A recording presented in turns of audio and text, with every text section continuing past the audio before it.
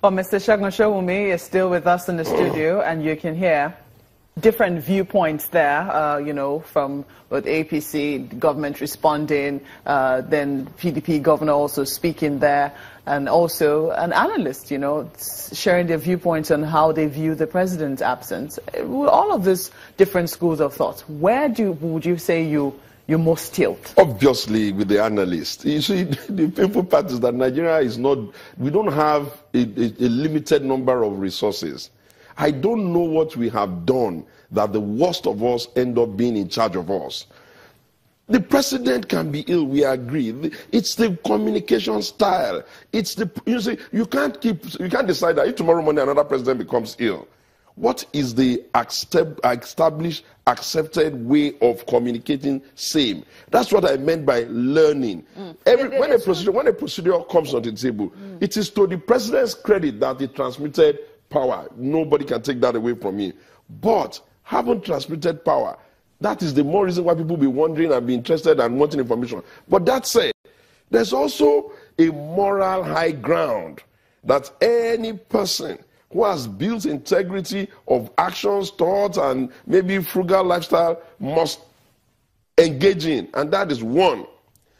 There's no point in concealing things that people want to know about. Even mere small movie stars and celebrities can't even hide from simple things. Number two, you are almost for the period that you are in charge of public space the asset and the property of the people that have put you there. And so when they desire to know, they should be given information. Number three, there has to be a renewed dialogue between making sure that government and the governed understand themselves. The lacuna that we are seeing here is because the handlers of this presidency, especially the information management apparatus of this presidency, they have just been, with due respect to them, absolutely inept. What do I mean? Mm. Before I let you go into what you mean, there are two major issues which are coming out. You're talking about the issue of communication. You're also talking about the issue of protocols. Yes. You're saying that first, of, first and foremost, the president ought to have been able to communicate to Nigerians. Uh, some people will say that wouldn't that mean that we're dealing with two presidents? Because first and foremost, they believe that the acting president, his words should be sufficient because he is exercising the powers of the president, and that a president speaking from abroad will be there will be questions as to in what capacity is he addressing Nigerians? That's on the one hand. On the other hand, there are questions as to how, uh, you know, if he communicated, for instance, how would that douse or how would that remove the fact that some people are saying, Mr. President, you've been away for too long, come and resume or resign? You see, the, the, the, the, the beautiful thing about narratives, public narratives, is that we can spin it in whatever direction we want and we can justify the unjustifiable there is a moral high ground, a middle course that says, how do we ensure that we are getting growth? Let me tell you, had the acting president, now my, my, my, the Dr. Dr. Osinbajo SAN, professor, had he been able to carry on himself sufficiency of the goodwill of Mr. President, then why are we even interested in him? He can be there and the acting, but you can obviously tell that you a monk does not the, the, the rope does not make the monk.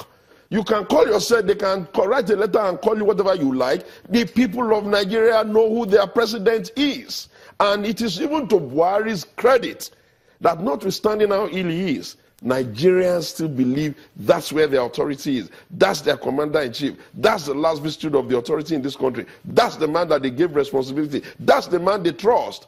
You are not going to be comparing it with some other human being. The, the, the, the, the volcanic followership that created the momentum is what is making people agitate. So and when they agitate. On the second issue of protocol, yes. Um, who do you think should be developing this protocol? Because the National Assembly believes that, you know, the president has complied with the law and they, they see no room for any agitations. I, will try and look for a foreign example so that you can get the point I mean. Mm -hmm. the, the laws of any land will not cover precisely whether you can, how you're supposed to shake the Queen of England. For instance, in their protocol, it is not expected that you're going to put your hand forward to shake the Queen unless she stretches. You are not even supposed to touch her. You know, there's, there's a doc, there's supposed to be some backroom office where they worry about all these things. If, what is the procedure if the president wants to get his child wants to get married? What is the procedure? Would develop all of this and have it so that at any point in time, if something comes up, we have an engagement strategy in place. Okay, rule number one: put information out. Rule number two: keep them keep them hopeful with good information. Rule number three: explain to them that progress is made. At day 30, let the president make a phone call to somebody that they can hear his voice. At day 40, tell them how how well is the. These are the protocols we're talking about. Mm. They cannot be covered by the constitution. A nation as complex and as large as Nigeria will require some unwritten things that will give, that will begin to form our own character or how we are and how we ought to be, or this is how we do our things. And it is from the, I think that the civil servants now are supposed to be the one to be, that could be, and private sector people that can be empaneled to help them look at some of these protocols. Gimba has a question for you yes. Lagos. Hello, Gimba. Mr. Sowunmi, uh, I'm really concerned though because uh, you did make reference to uh, a cabal on the one hand and then saying that if the president has the capacity to receive Team A, receive Team B, and even have pictures sessions with them, uh, does it then suggest to you that uh, uh, there is a cabal? And I don't understand what you're trying to say. Is the cabal keeping the president away from Nigerians? Gimba, let Gimba, let me tell you what it means. If the president is, is if, if the president is well enough to receive the Archbishop of Canterbury, is well enough to receive the vice president, is well enough to receive Oyego and Co, is well enough to receive the medley of governors that went on, the, on tourism to go and visit the Queen, is that means that where the president is well enough to speak to Nigerians. Because I'm sure he couldn't have been sitting in that meeting, mom.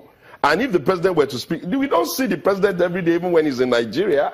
He's busy doing his work in Aso Rock, but he speaks to us. Maybe we see him shake, we see him say something, we see him, we hear his voice. And because they had started on a very bad footing anyway, that's the more reason why the, hearing the president makes more sense. What is going to go wrong if the president thanks Nigeria for the support and the prayers and all that, and they heard his voice. Mm. We're not going to, we may wish all we want. We're not going to do something that is unconstitutional to get him made. We can't stop him from completing his term somewhat. That is domiciled in the assembly. But what we're saying is that Nigerians are excited about this matter. Nigerians are agitating about this matter. The president needs to, the system needs to be a bit more, you know, respect respective of their views think that uh, uh, the absence of the president has derailed governance in any way whatsoever?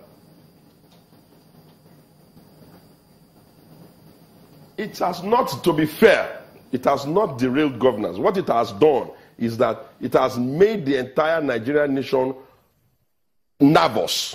And why are we nervous? I'll count some of the things that is making us nervous, even though you have an acting president. You have an acting president. Kanu is running riots in the southeast. You have an acting president. Some people are giving people ultimatum in the north.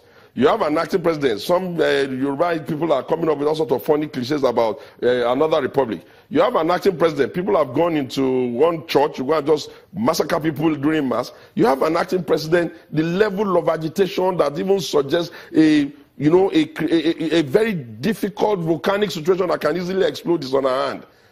If the acting, if all of these things were managed well, and if the acting president had uh, carried the air in a manner that maybe Buhari didn't even matter to us, then why would we be talking about him? But if it still matters to us, not just Segun, not the PDP, Nigerians, if the man matters to us as it seemed to matter to us, it is our right to ask for him. It is our right to want to know. It is our right to be agitated. It is our right to protest. It is our right to be listened to. It is our right to see them make steps that suggests that they are listening to us. They are not, they are not running government for themselves. What is our responsibility when we have all of this rights? What is? The responsibility we have. Oh, that's why we're talking. Okay, so. Our responsibility is to throw up the issues that we're hearing from Nigerians and we also believe strongly in. Our responsibility is to demonstrate clearly that you better come back to your beautiful party, the PDP, because they seem to have a general understanding of how Nigeria ought to be and how Nigeria ought to be run. Well, I definitely trust you to sneak that one in as your convention comes this Oh, weekend. yes. Well, thank you so much for coming, Mr. Segun Sowunmi, uh, on Sunrise Daily this morning. He is a member of the People's Democratic Party. Sunrise Daily will continue in just a moment. Please stay with us.